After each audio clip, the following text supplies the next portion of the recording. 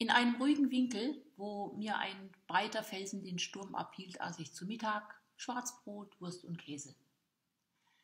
Nach ein paar Stunden Bergaufmarsch, nach starkem Winde, der erste Biss in ein belegtes Brot. Das ist eine Lust, fast die einzige, die noch das ganze durchdringend köstliche, bis zur Sättigung beglückende der echten Knabenfreuden hat. Morgen werde ich vielleicht an der Stelle im Buchenwald vorüberkommen, an der ich den ersten Kuss von Julie bekam, auf einem Ausflug des Bürgervereins Concordia, in den ich Julies wegen eingetreten war.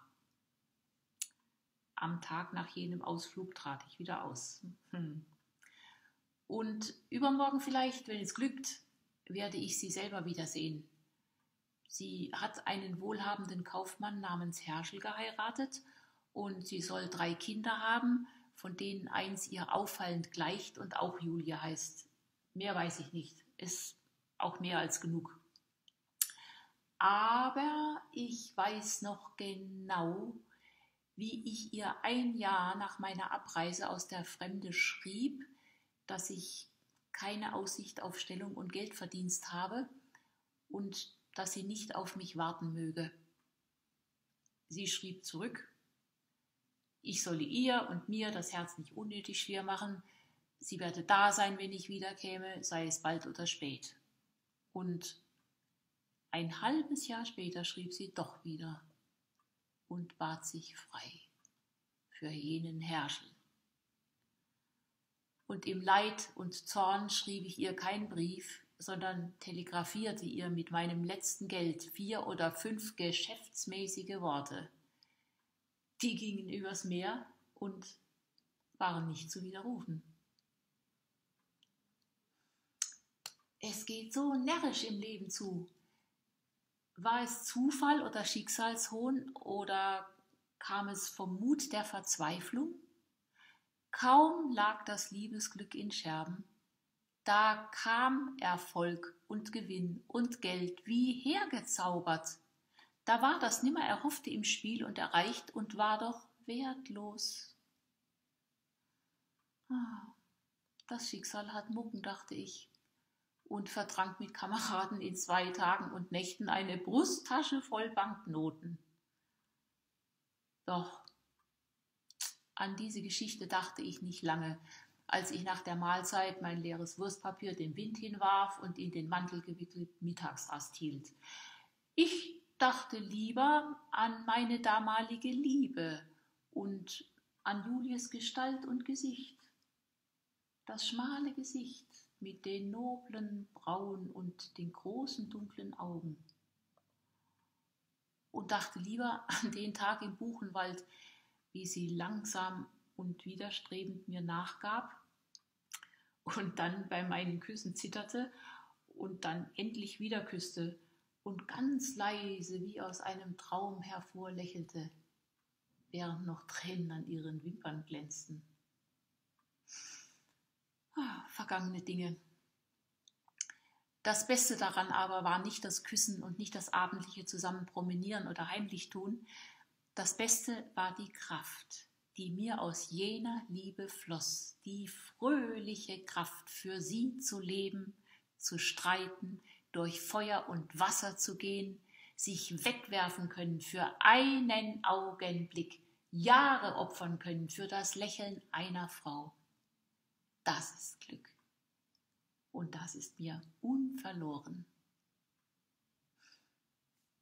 Pfeifend stand ich auf und ging weiter. Als die Straße jenseits vom Hügelkamm abwärts sank und ich genötigt war, vom Anblick der Seeweite Abschied zu nehmen, lag eben die Sonne schon dem Untergehen nahe im Kampf mit trägen, gelben Wolkenmassen, die sie langsam umschleierten und umschlangen. Ich hielt inne und schaute rastend den fabelhaften Vorgängen am Himmel zu. Hellgelbe Lichtbündel strahlten vom Rande einer schweren Wolkenbank in die Höhe und gegen Osten.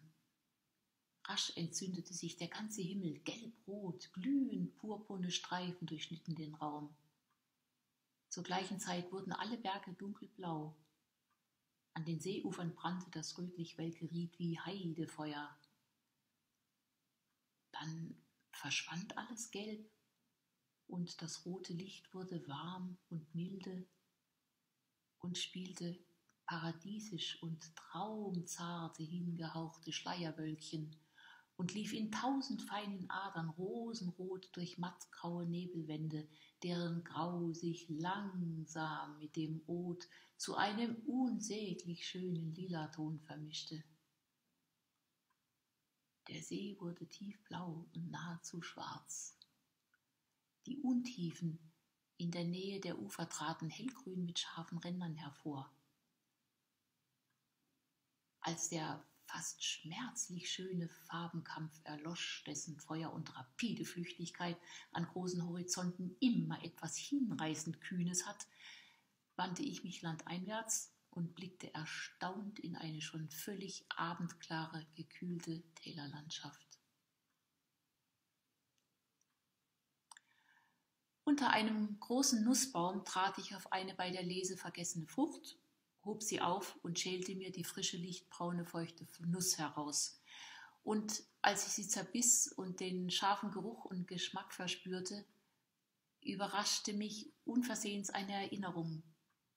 Wie von einem Stück Spiegelglas ein Lichtstrahl reflektiert und in einen dunklen Raum geworfen wird, so blitzt oft mitten im Gegenwärtigen, durch eine Nichtigkeit entzündet, ein vergessenes, längst gewesenes Stückchen Leben auf erschreckend und unheimlich. Das Erlebnis, an das ich in jenem Augenblick nach vielleicht zwölf oder mehr Jahren zum ersten Mal wieder dachte, war mir ebenso peinlich wie teuer. Als ich mit etwa 15 Jahren auswärts in einem Gymnasium war, besuchte mich eines Tages im Herbst meine Mutter. Ich hielt mich sehr kühl und stolz wie es mein Gymnasiastenhochmut forderte, und tat ihr mit hundert Kleinigkeiten weh. Anderen Tages reiste sie wieder ab, kam aber vorher noch ans Schulhaus und wartete unsere Morgenpause ab. Als wir lärmend aus den Klassenzimmern hervorbrachen, stand sie bescheiden und lächelnd draußen, und ihre schönen und gütigen Augen lachten mir schon von weitem entgegen.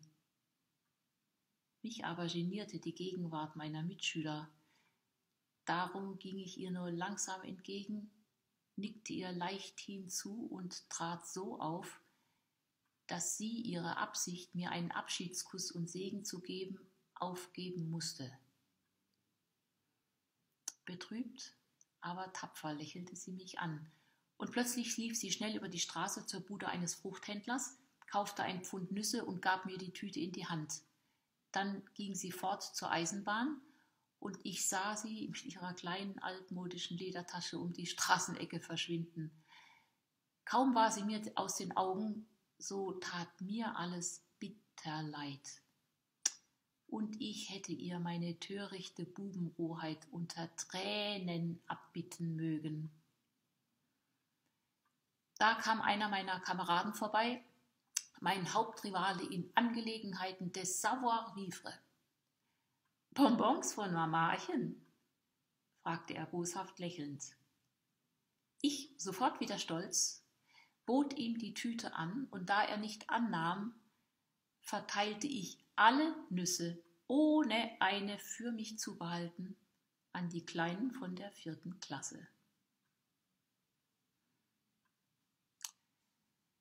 Zornig biss ich auf meine Nuss, warf die Schalen ins schwärzliche Laub, das den Boden bedeckte, und wanderte auf der bequemen Straße unter einem grün, blau und golden verhauchten Späthimmel hin zu Tal und bald darauf an herbstgelben Birken und fröhlichen Vogelbeerbüschen vorbei, in die bläuliche Dämmerung junger Tannenstände und dann in die tiefen Schatten eines hohen Buchenwaldes hinein.